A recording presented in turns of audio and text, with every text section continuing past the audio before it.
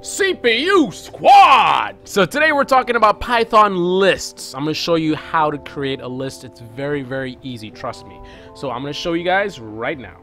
So before we get started, what's a list? A list is basically a list, like you have a grocery list, for example, right? So you have uh, um, a group of things that you want to interact with in your script. So for example, let's say there's a list of options. Based on these options, your program will do different things. So I think it's better to show it than to actually to speak about it. So let's actually create a list right now. So I'm going to create my list and I'm going to define what it is in these brackets. I'm going to create three entries in here and each entry is going to be a string. So I'm going to put my quotes in there and double quote and there we go. So actually for three items we don't need three quotes or commas rather. The commas to separate each one right? So we only need two.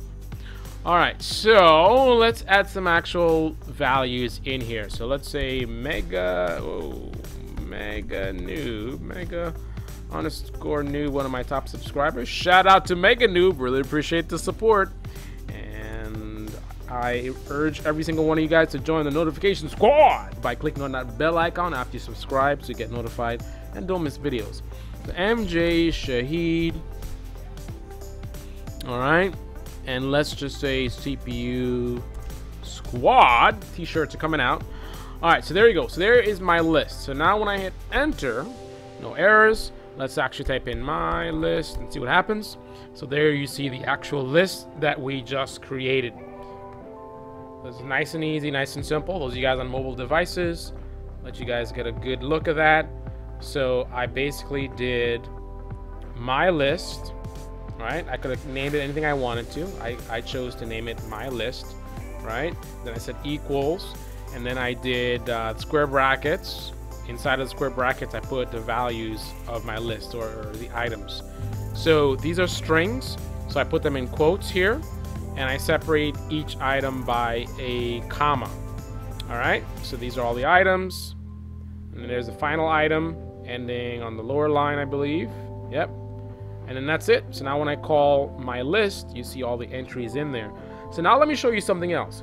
How do we refer to a specific item in the list? So what I can do is I can print, of course, my list. Now who can tell me what's wrong with this? What's wrong with that? What is wrong with that command? I want to print the actual contents of the list. Well, uh, besides the typo, what's wrong with that? All right. Now, remember the significance. Always remember, I keep telling you guys, remember the significance of the quotes. This is not a string. This is a variable, variable that refers to my actual list. So let's get that out of there. Otherwise, it's just going to print literally what I put there. So now we print my list. Now it actually prints out the actual list. All the contents of my list actually show up. All right.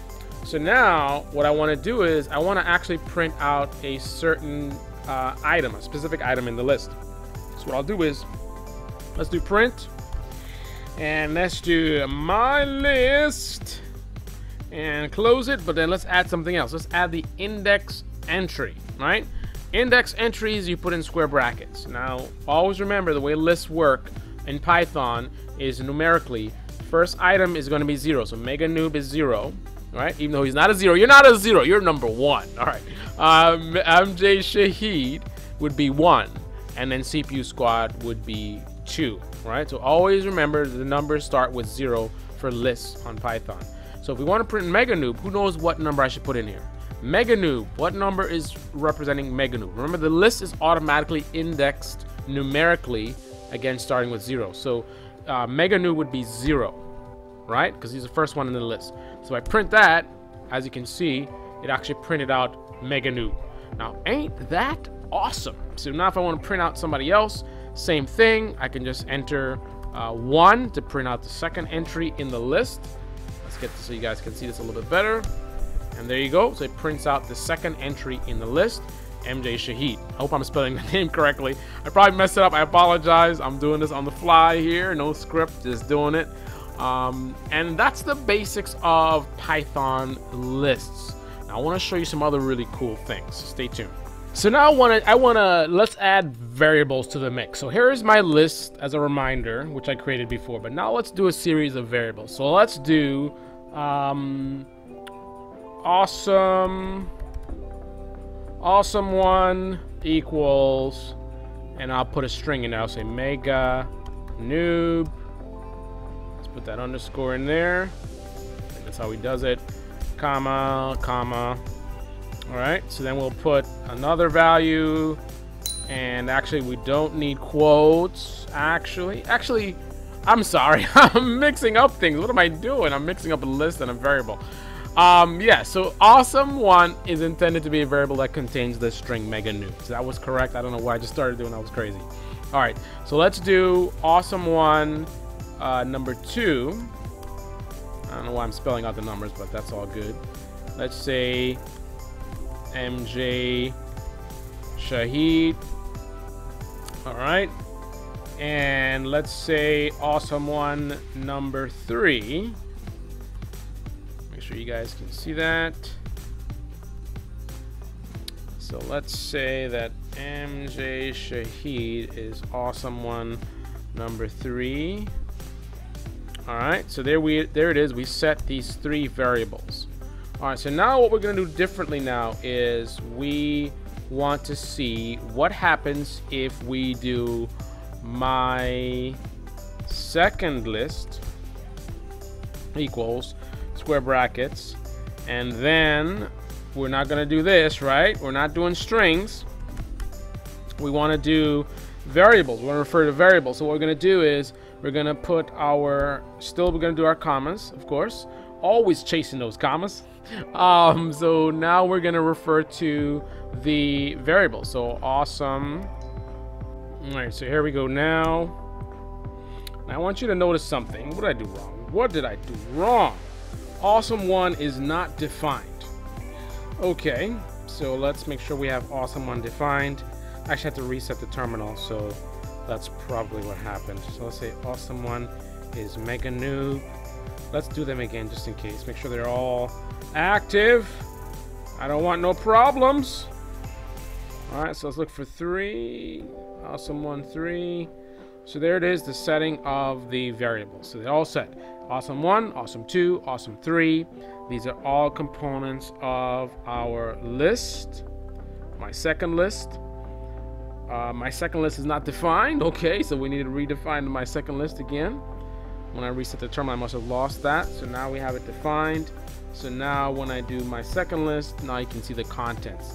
Now I want you to notice what it actually does. So if you pay attention, you will see that it actually basically evaluated my variables. So it's actually showing you, like you notice, in my second list, right, I refer to the variable names, right, awesome one, awesome three. But when I call the list, it shows you what those variables are referring to, not the actual variables themselves, right? As it should. So just like before, if I want to do a print command, terminal is killing me. Now I can't see what I'm typing. There we go. All right, so if I go with a print command and I do my second list, and I do in brackets uh, two, now we can see MJ Shahid comes out. If I do it again, wow, this terminal is crazy. If I do that again, we can see I can refer to zero, my list, and zero. You see Mega Noob comes out. If I put one in there, you can see MJ Shahid comes out. All right, so pretty simple. Now, one last thing I want to do is show you something really cool. Something else really cool. But wait, there's more. You're going to be amazed at how easy. So what we can do is we can actually make sure I'm on the right screen here. All right, so we can do my list. And again, you guys can't see what I'm typing in. This terminal is driving me nuts.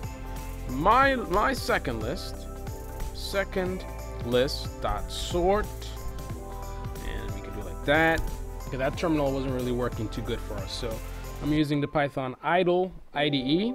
And as you can see, I created a new, list with A, C, and B. So letters are out of order. So now I can just do a my list dot sort parentheses like that. Now this alone is not going to give you anything. If I do uh, save and run, you can see there's no results. Doesn't output anything. But if I try to print my list and I, well, this should be in parentheses, just do like that. Now let's see what happens. So F5, save, and boom, ABC. So letters are in correct order. Now if we go back and I comment this out and now run it, you can see it's back out of order. So the sorting of it was happening by me using this right here, the my list dot sort. So you add a dot sort to your list name and then you put parentheses in Python 3 and that's how you can sort it. Now, there are ways that you can change values in a list so let's say, for example, if I wanted to, let's see. So let's say my list like that. And let's do zero equals, let's put a string in there. Let's say new value. Can I do that? Will that work? Let's find out. So we did that. Now let's go ahead and run it. And we can see it did not work. So let's go back and see what happened wrong. So I did my list, ACB. Uh, then I printed the list. Oh, I didn't print the list after. It'd be nice if you printed it again. Hello. Hello. Okay, so let's go ahead and run this. Run that there you go. We've actually changed a value of one of the items in the list.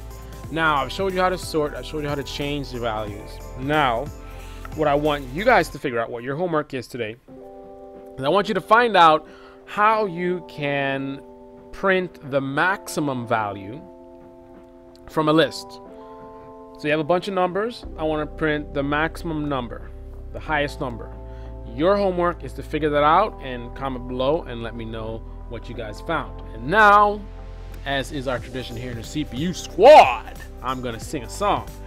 All right. Um, worry that it's not good enough for anyone else to hear. Sing, sing a song Okay, so I sang a song or a piece of a song, and now you're gonna click on that like button, smash the likes. I love those likes. You're gonna subscribe if you're new to the CPU channel, and you're gonna click on that bell icon so you actually get notified.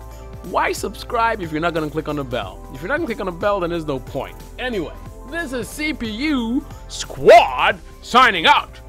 you can go now. The video's over. I know you enjoyed the video, but it's over. So, bye.